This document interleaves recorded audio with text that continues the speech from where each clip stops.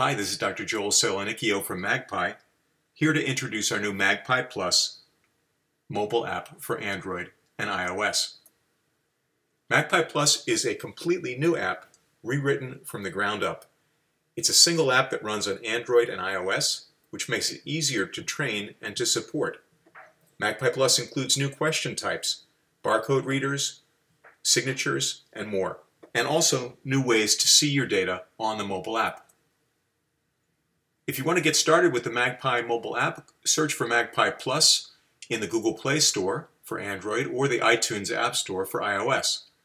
You'll notice that Magpi will still have our classic app available. That's with the dark red icon.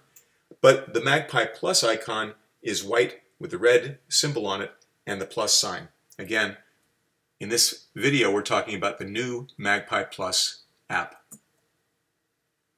To log in, just start the app and log in with your Magpi user ID and password. If you haven't got a Magpi user ID and password, you can sign up for free at magpi.com. Once you log in, you'll see a list of all the Magpi forms that you have access to. This will be forms that you've created or forms that other people have shared with you. If you have data on this device in any form, you'll see an icon and a number. For example, in the image at right, you see that ABC example form has a single data record on the device, and the green check icon shows you that that single record has already been successfully synchronized with the Magpi server. If you want to enter data in Magpi Plus, it's simple. Start at the form list and tap the name of the form that you want to enter data into. This will bring you to the data list, shown in the center here. On the data list, as it says, Tap the plus sign to enter data, and that will bring you to your form as displayed on the right-hand side. You can immediately start entering the data. You'll notice that in Magpi Plus, unlike in the Magpi Classic app, all the questions in a form are shown in a single scrolling display rather than showing a single question on the screen at a time. This is especially useful if you're using large screen devices like tablets because you can see more of your form at the same time. If you want to save data, at the bottom of each form, you'll see a button that says Save and Add Another. This saves your data and then brings you right back to the top of a new blank form. Or if you click the Save button at the top right of any form, that saves the data but returns you to the data list. Skip logic in Magpi Plus is also a very useful feature. If you have a form like the one shown on the left-hand side, which asks the respondent, do you enjoy sports, yes or no? And if they answer no, wants the data collector to skip to question three, on Magpi Plus this displays as shown in the two images at the right. In the middle image, we can see that the person responded, yes, they like sports, and therefore you can see that question two should be answered. And as you can see, it is answerable. You can tell this by the fact that the radio buttons in question 2 are shown in red.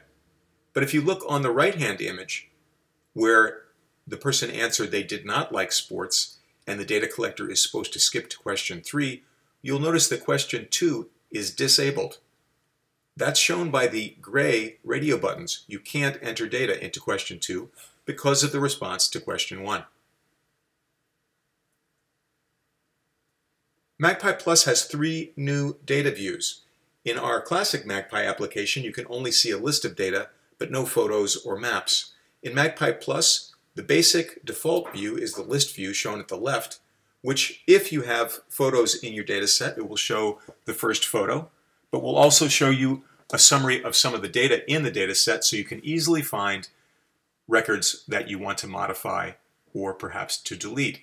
You can also type search terms into the search records field at the top of the screen to filter your list down to only the data records that meet those search terms. In the center, we see the image, image view, which shows the first image in any data record uh, enlarged, and all the other functions are the same as in the list, list view. You can search through the records, you can scroll them, you can tap on a record if you wish to uh, edit that record. And on the right-hand side, we see the map view.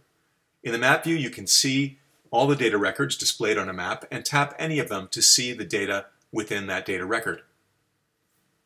As with the first two views, in Map View you can also filter the displayed records by typing something into the Search Records box. Or, in all the map views, you can filter the dates that are shown by tapping the Filter button in the top right of the screen. Magpi Plus will try to upload data at at least three separate times. One, when you click Save or Save and Add Another, as you're adding data into a form, Magpi Plus will try at that moment to upload the data. Also, if you go to the side menu and tap the Synchronize command, or Sync command, then it will try to upload the data at that time. Also, every few hours, the Magpi Plus app will try to upload any unuploaded data. Note that in the settings page, you can specify that Magpi Plus should do all of these things only when a Wi-Fi signal is present and not via cellular data, which can save both your battery life and also cellular data costs. But of course, you're also certainly able to upload data via cellular if you don't make that selection in settings. Magpi Plus has several new question types, including signatures and sketches, where you draw on the screen of the phone, barcode and QR code reader, drag and drop ranking, that's where you are presented with a list of options on the screen and you can drag them with your finger into the correct order, and fingerprints. And in early 2018, we'll be providing grid questions, as you can see on the right-hand side, which will enable you to answer questions even more quickly. We hope you'll give Magpi Plus a try, and if you have any questions, we'd love to hear from you at support at magpi.com or just visit our website at www.magpi.com.